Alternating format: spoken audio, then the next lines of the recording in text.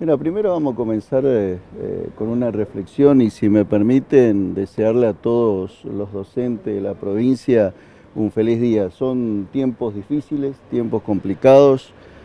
Eh, tenemos como una carga social ante cualquier inconveniente que pueda surgir dentro del sistema educativo, obviamente que el responsable parece ser el docente y yo quiero respaldar el trabajo y la tarea que realizan cada uno de ellos en su lugar, en sus escuelas, eh, en el medio del campo, eh, en la ciudad, eh, tratando de sobrellevar cada uno de los inconvenientes que se encuentra a diario.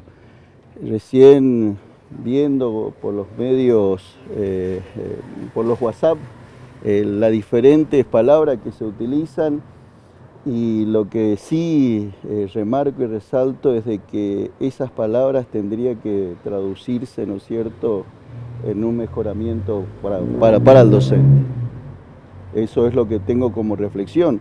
Y de reclamo, creo que estamos reclamando constantemente eh, la parte salarial, que, me parece que es una deuda que tiene el Estado con los docentes y, bueno, y a partir de allí condiciones laborales eh, dignas, ¿no?